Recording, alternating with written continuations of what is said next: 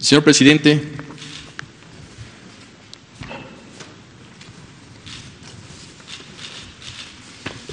este es un ejemplar de los primeros libros con una portada de Siqueiros, que con los retratos de Hidalgo, Juárez y Madero representa precisamente las tres transformaciones históricas de nuestro país.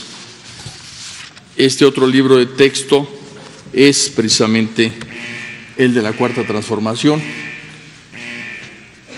y uno de los mayores legados que en educación pública se podrá realizar, señor presidente.